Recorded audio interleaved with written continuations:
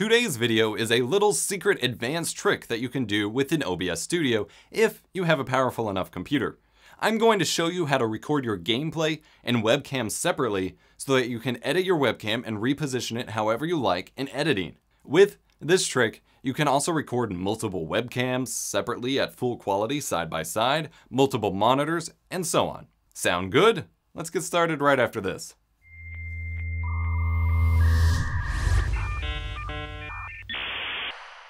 I'm EposVox here to make tech easier and more fun and welcome back to my OBS Studio tutorial course. I have many, many more videos on the software in the playlist linked in the video description. Check that if you have any questions, I've probably already answered them.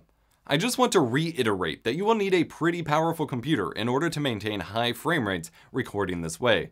But with a high-end PC, this is an easy and fun way to record things. You ready? It's going to seem silly once you know.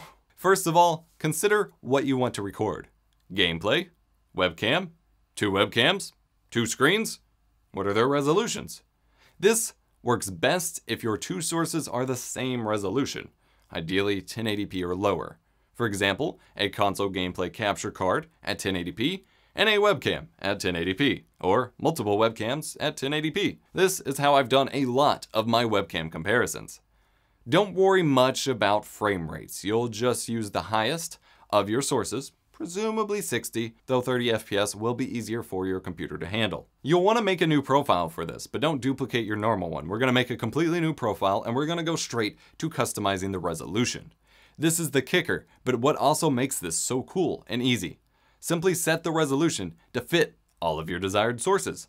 So if you want a 1080p gameplay and a full 1080p webcam, set the resolution to 1920 times 2 wide and 1080 high, or 3840 by 1080. If your sources are 720p, do 2560 by 720. Or if you're doing three or four sources at once, go for a full scene. My three 1080p webcam comparison video was on a full ultra high def canvas of 3840 by 2160. Three or four 720p sources would need a canvas of 2560 by 1440. Set your frame rate, the highest of whatever sources you're using, set a high bitrate, and finish off your other settings. We have videos covering these topics in the playlist. Once you're done, it's time to add your sources. Add your gameplay and webcam, or whatever, and simply line them up side by side.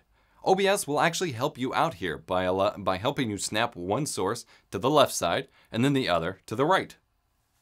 Line up however many sources you're using and you're good to go. Just make sure that your audio tracks and mixer are set up right. See my video on that for more help. Now you have an epic video file with full resolution webcam and gameplay footage ready to go. Drag it into your favorite video editor, and here's where it gets a little tricky until you're used to the process. You need to drag two copies of the video track to your timeline, keeping in mind that you only want one copy of the audio tracks.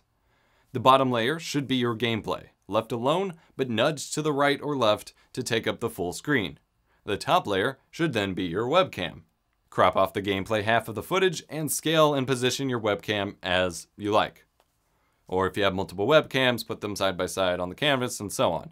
You can use nesting and layers to apply color grading or a drop shadow to your webcam, maybe even add separate effects to your gameplay too.